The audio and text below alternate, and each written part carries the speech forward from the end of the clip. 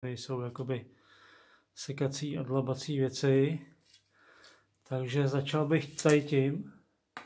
To je sapina, obracák na klády, výborná věc na manipulaci s kulatinou. Používalo se to na Šumově, Rakousku hodně. Pak je tady loupák a kuru. Používám to radši než poříz. Na, na kulatinu je to super. A když mi tam někde zbyde jakoby troška kůry na, na, tom, na té samém trámu, tak to seškrámu sekirou. Takže jako poříz já skoro vůbec nepoužívám. Potom na hrubý, hrubý otesání, na vruby, na vysoké práce na kozách.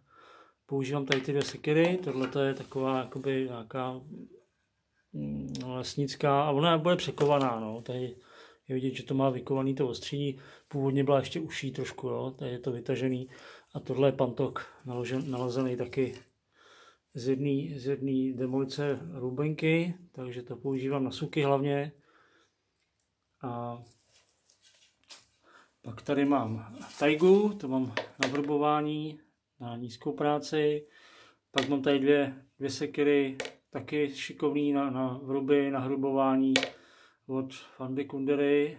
A tady mám od kolegy Masekery japonskou, to je výborná na, na vrubování a na hrubování.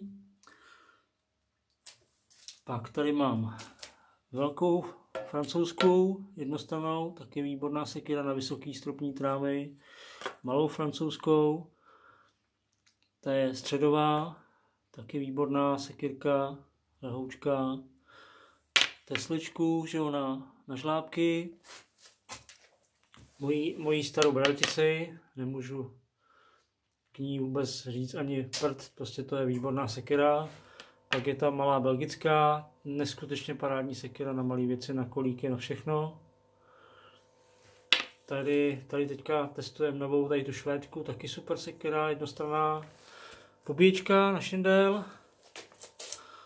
Látovky, to bez toho nedám, nedám žádný spoj, to je prostě neskutečný parádní nástroj.